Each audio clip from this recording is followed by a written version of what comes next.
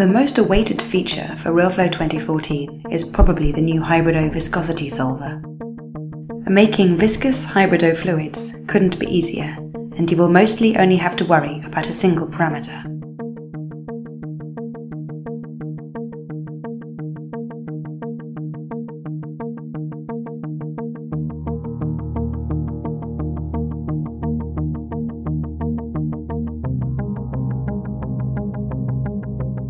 Variable space viscosity effects can be achieved using simulation graph tools included in the demo scenes.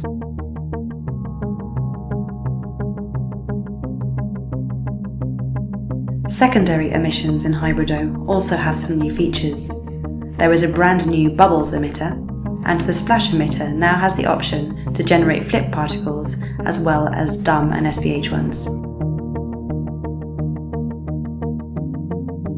The bubbles emitter enhances the detail that you can already achieve with the Hybrido secondaries.